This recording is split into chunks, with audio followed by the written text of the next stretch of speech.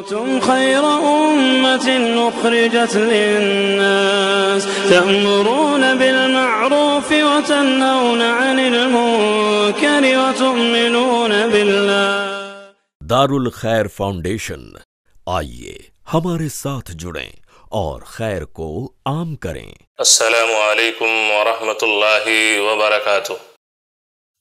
الحمد لله وكفى وسلام على عباده الذين اصطفى أما بعد۔ محترم ناظرین مشاہدین، آج کی نشست میں میں جس موضوع کو لے کر آپ کے سامنے حاضر خدمت ہوں، موضوع ہے ذوالحجہ کے دس دنوں کی فضیلت۔ سنن ترمیزی کتاب الصوم، باب نمبر ففٹی ٹو باون۔ حدیث نمبر سیون سکس ٹو سات سو باسٹھ۔ راوی حدیث ابن عباس رضی اللہ عنہما ہے۔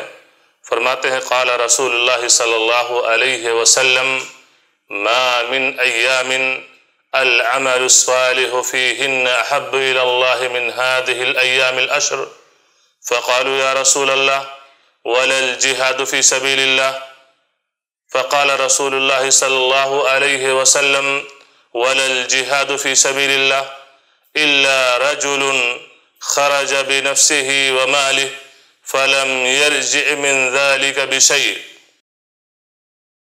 رسول اکرم صلی اللہ علیہ وسلم نے فرمایا، عشر ذلحجہ ذلحجہ کے دس دنوں میں کیے گئے نیک عمل سے زیادہ اللہ کے نزدیک کسی دوسرے دنوں کا نیک عمل پسندیدہ نہیں ہے۔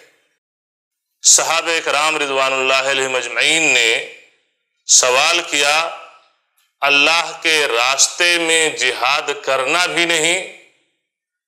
آپ صلی اللہ علیہ وسلم نے فرمایا، اللہ کے راستے میں جہاد کرنا بھی نہیں اللہ یہ کہ ایک شخص اپنے جان و مال کے ساتھ نکلے اور پھر کسی چیز کو واپس لے کر کے نہ لوٹے یعنی وہ شہید ہو جائے، شہادت کا درجہ اس سے مل جائے۔ تو میرے دینی بھائیوں یہ ہے ذلحجہ کے دس دنوں کی فضیلت کہ ان دنوں میں جو بھی اعمال صالحہ، جو بھی نیک اعمال انسان انجام دیتا ہے، بنسبت دوسرے دنوں کے وہ عمل اللہ کو زیادہ پسندیدہ ہے، حتیٰ کہ اللہ کے راستے میں جہاد کرنے سے بھی زیادہ سوائے اس انسان کے کہ جو اللہ کے راستے میں جہاد کرنے کے لیے نکلا ہو۔ اور یہ ہے کہ اپنے آپ کو اللہ کے سپرد کر دیا ہو اور حالت یہ پہنچی ہو کہ میدان کارزار میں دشمنوں کے ہاتھوں وہ شہید کر دیا گیا ہو، جامع شہادت نوش کر لیا ہو۔ تو ایسے انسان کی اور بات ہے۔ اور اسی طریقے سے جب ہم قرآن کریم کو پڑھتے ہیں، تو قرآن کریم کے اندر بھی سور فجر کی آیت نمبر ایک اور دو، جس میں اللہ تبارک تعالیٰ نے اشاد فرمایا، والفجر ولیال اشر قسم ہے فجر کی اور قسم ہے دس راتوں کی۔ اس آیت کی تفسیر میں عبداللہ ابن عباس، عبداللہ ابن زبیر رضی اللہ عنہما سے مروی ہے کہ دس راتوں سے مراد ذلحجہ کی ابتدائی دس رات ہیں۔ تو آپ انداز لگائیے کہ اللہ تعالیٰ نے ذلحجہ کے شروع کے دس راتوں کی قسم کھائی ہے اور جن چیزوں کی اللہ تعالیٰ نے قرآن کریم کے اندر قسم کھائی ہے، وہ چیزیں اس کی اہمیت پر دلالت کرتی ہیں کیونکہ قسم کھانے والا زمین و آسمان کا رب ہے اور وہ ان چیزوں کی قسم کھا رہا ہے۔ تو جب اللہ تبارک تعالیٰ نے ذلحجہ کے دس دنوں کی، دس راتوں کی قسم کھائی ہے، تو ظاہر سی بات ہے، یہ چیزیں بڑی اہمیت کی حامل ہیں۔ ہم اور آپ کو بھی چاہیے کہ ہم بھی ذلحجہ کے شروع کے دس دنوں کی قدر کریں اور اس میں زیادہ سے زیادہ اعمال صالحہ اور نیک عمل کرنے کی ہم کوشش کریں۔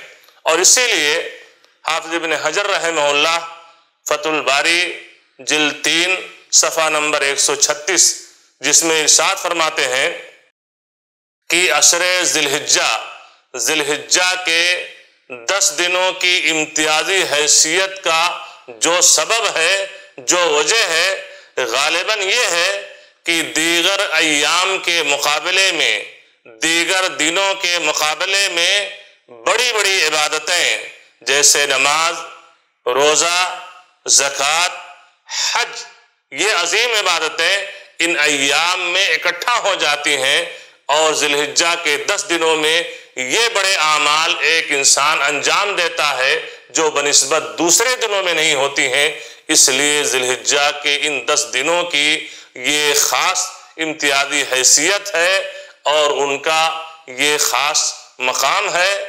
اللہ تبارک تعالیٰ سے دعا ہے کہ ہمیں ذی کے ان دس ایام کی قدر کرنے کی توفیق عطا فرما اور ذی کے ابتدائی دس دنوں میں زیادہ سے زیادہ اعمال صالحہ کرنے کی اور اعمال صالحہ انجام دیتے ہوئے ان کی قبولیت کی دعا کرنے کی توفیق عطا فرما۔ اللہ تعالی ہم سب کو اس کی توفیق عطا فرما۔ وصلی اللہ علی نبینا محمد وعلی آلہ وصحبہ وسلم۔ والسلام علیکم ورحمۃ اللہ وبرکاتہ۔